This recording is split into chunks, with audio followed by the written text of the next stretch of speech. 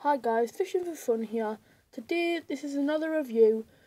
As last time I'd done a review on these compact tackle boxes. Check out that video as it comes in more detail. So this is was only one pound and it is crab line. It has 13 meters of line and two bait bags which is kind of useful and it has no hooks so I can add my hooks onto it and um, you will see me using this and it will be put in the fishing shack with a lot of more stuff so I'm going to buy another one of these next week and so I have enough of them and I'll show you the fishing shack maybe tonight or sometime this week.